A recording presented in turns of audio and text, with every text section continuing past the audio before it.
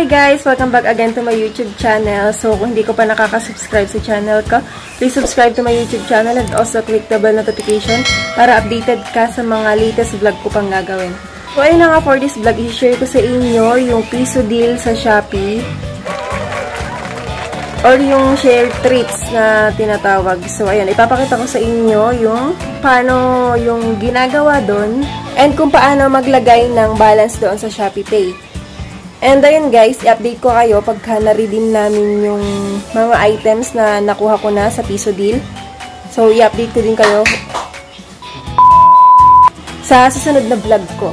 So, ayun, panoorin nyo muna kung paano makakuha ng mga piso deals at paano maglagay ng balance sa Shopee Pay. So, ayun, just keep on watching!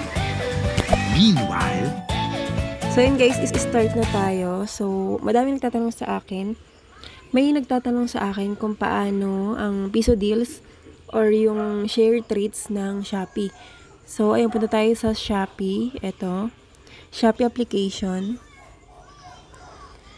Then, ayun, makikita nyo dito sa may bandang left side, meron akong 12 pesos pa dyan. So, ngayon, pupunta muna tayo dito sa Deals Near Me para makita nyo yung mga available na pwede nyong i-buy pagka meron na kayong ano dyan. Pag meron na kayong pera sa Shopee Pay nyo. So, punta tayo dito sa deals near me. Okay. Tapos yan yung makikita nyo. Then sa right side, meron ditong see all. See all. Click natin see all.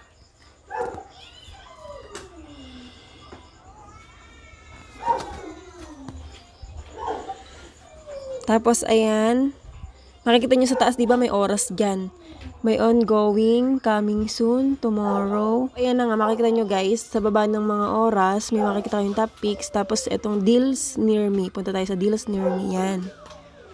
So, unang-una nyo makikita, ayan, yung Jollibee Vanilla Cone. So, ayan, ganyan lang. Dito kayo mamimili. Basta lagi kayong pupunta sa deals near me, ha.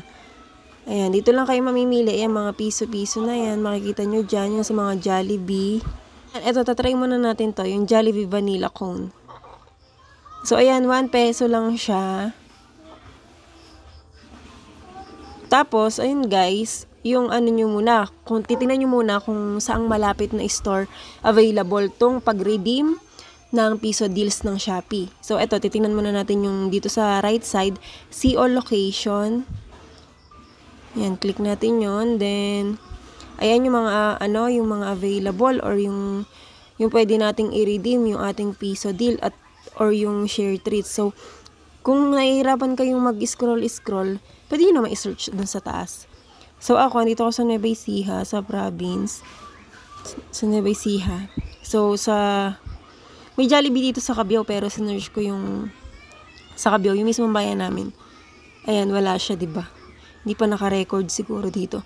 So, sa Gapan, ayan, medyo malapit dito, 30 minutes lang. Ayan. Sa Gapan, doon sa may ano to eh, sa night market, yung sa may General Dino Street Corner Jacinto, San Vicente, Poblacion Gapan.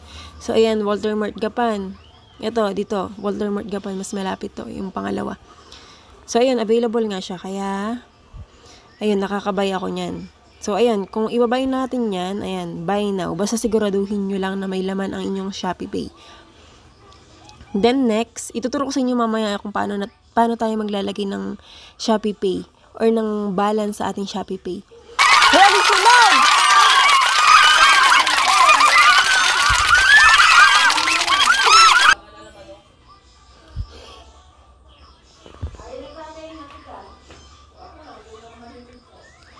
So, ayun, i-buy now natin. Buy now. So, ayun guys, hindi na ako makakabili kasi nga, bumili pa lang ako kanina niyan. So, may limit siya. Isa-isang piraso lang bawat ilang oras lockdown nito. Kasi meron siya ng meron siyang 12 noon ay 12 a.m. 6 a.m. 9 a.m. 12 noon tapos, 6 p.m., 9 p.m., ayun, ganun. Basta ganun yung oras niya, paikot na ganun. So, ayan, Meron na nga tayo niyan. So, ayan, yung bonchon. Yan, daming piso-piso lang dyan, oh. Pero guys, yun din, babasahin nyo muna, katulad ng Domino's na yan, na pizza. So, babasahin nyo muna yung terms and condition. Ayan. May terms and condition din kasi yung iba. Pero yung sa Jollibee, wala naman siyang, eto katulad ng terms and condition nitong Domino's Pizza. Um, use pes, 1 peso voucher to avail a regular 10 Memphis barbecue chicken pizza at almost 50% off. 50% off lang siya. Hindi siya piso talaga. With this 1 peso, what, with this 1 peso voucher, you can get the pizza for only 220 pesos instead of the regular 420 pesos. So, ayun, 50% ka lang siya. Hindi siya piso. So, ayun, babasahin nyo din yung terms and condition. Ayan. Pero yung sa Jollibee naman, hindi naman na wala naman ng ganun. Basta kailangan mo lang ipakita yung code. Eto, McDo. 27 pesos. Medyo mahal siya. Minsan kasi nagpipiso din yan. Ayan. McDo. Hindi na afford ng ating Shopee balance.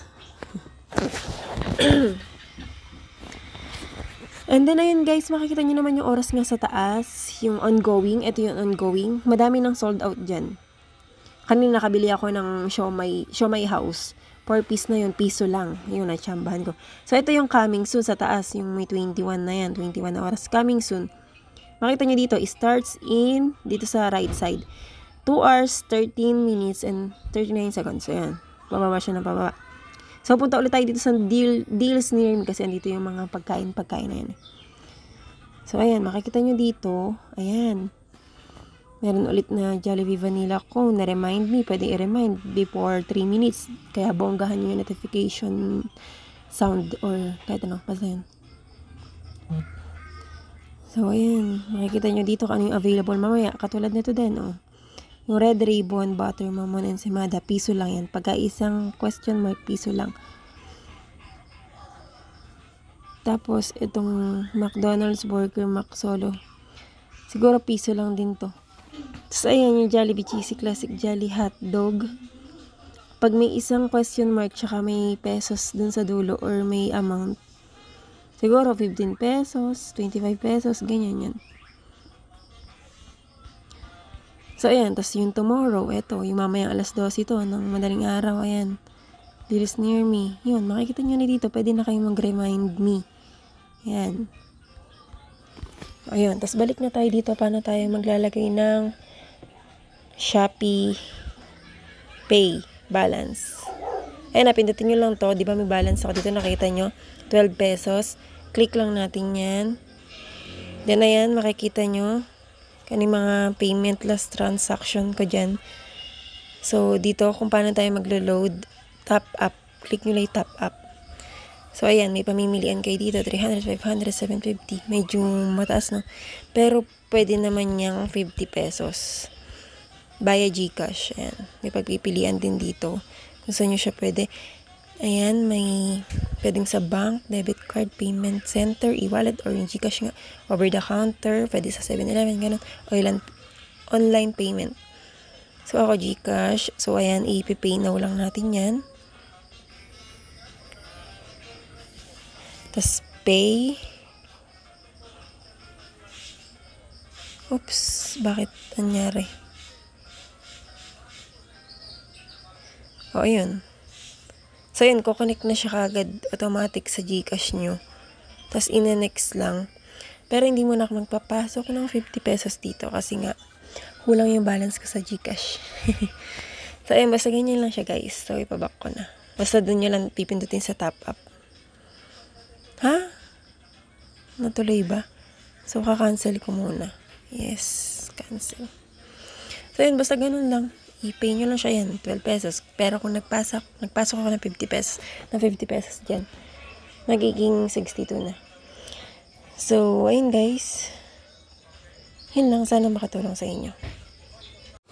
So, ayun guys, dito nyo pala makikita yung, ano, Dito nyo pala makikita guys yung na-order na or yung na-buy now nyo na. Dito, punta kayo sa me, sa account nyo. Tapos makikita nyo dito sa digital purchase. Sa to receive. Sa taas to receive yan.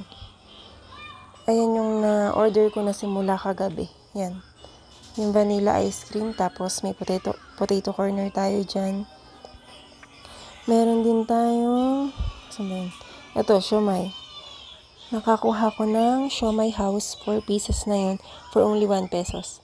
So, paunahan talaga dito, guys. Kaya kailangan may timer. Kaya kung mapapansin nyo sa taas, naka-timer na yung aking cellphone.